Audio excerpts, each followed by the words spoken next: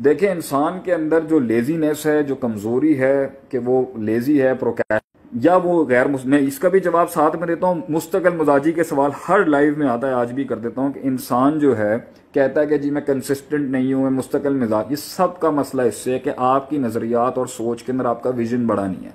आपकी self esteem बड़ी नहीं है। आपकी मंजिल की हैसियत नहीं है। आपका मकसद आपके खून के अंदर नहीं उतरा हुआ। आप अपने मकाम को जहाँ बैठे हैं, उसमें स्टकअप हुए हैं। आप अपनी उस तजलील और तहकीर को कबूल कर चुके हैं। आप अपने आप को मुस्तक समझते हैं कि आप उसी हालत के अंदर रहें जिसमें आप बैठे हैं। आप उस वतन में जाने की बात नहीं करते मेंटल वतन के अंदर, जहाँ पर आपको वो मकाम, वो इज़्ज़त और वो शर्फ मिलेगा आपको। आप मानते ही नहीं है उस चीज़ को। ये इसके बाद फिर आपने कर करके अपनी आदत और फितरत के अंदर चीज़ों को मुकम्मल करने की सिफत ही पैदा नहीं की हुई।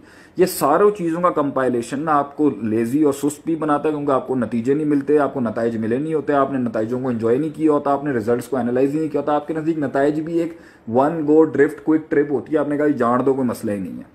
इसलिए ये सारे बेढंगेपन इंसान के अंदर ना एक इनकन्सिस्टेंट है कोई फ़र्क नहीं पड़ता आप ये वाला जो कोई फ़र्क नहीं पड़ता एक आना कोई फ़र्क नहीं पड़ता कोई फ़र्क नहीं पड़ता ये लाइफ का जो एटीट्यूड है जी कोई फ़र्क नहीं पड़ता कोई कोई फ़र्क नहीं पड़ता बदनामी का फ़र्क नहीं पड़ता हार का फ़र्क नहीं पड़ता जीत का फ़र्क नहीं पड़ता ठीक है मामलात का फ़र्क नहीं पड़ता माशरत में फ़र्क नहीं पड़ता लोग मेरे बारे में फ़र्क नहीं पड़ता ये सारी चीज़ें मिलकर ना इंसान को इनकन्सिस्टेंट मुस्तैर मुस्तकिल मिजाज और काहिल बनाती क्या चीज़ उठाएगी इज़्ज़त, अपनी इज़्ज़त, एहतराम, वक्त का एहतराम, अल्लाह की अल्लाह की कदर, ज़िंदगी की कदर कदर, मकसद की कदर, मंजिल की कदर, मंजिल की हैसियत, रस्तों की हैसियत, रस्तों की पहचान, उन रस्तों पे रस्तों को एक पहचान पहचान को एक रस्ते, रस्तों को पहचान देने का मसला।